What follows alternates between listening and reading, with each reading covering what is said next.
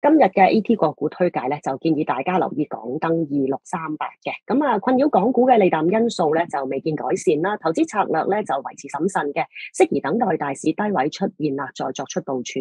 咁中期嚟讲啦，投资者可以关注住盈利稳健啦。派息穩定、業務受監管風險較低嘅股份㗎，咁其中港燈咧就係個業績符合市場嘅預期啦，可以加以關注嘅。咁啊，港燈主要生產電力啦，供應俾香港島同埋南丫島啦。喺本港嘅公用股當中咧，港燈咧就向來被視為係穩健嘅收息之選嚟㗎。業務收入穩定，競爭有限，具有護城河嘅優勢嘅。咁港燈自舊年二月以嚟咧，咁啊沿住上升軌就向上啦。琴日就係收七個七毫三嘅，靠近上升軌嘅支持位啦，喺近期跌市當中咧就表現比較係偏穩嘅。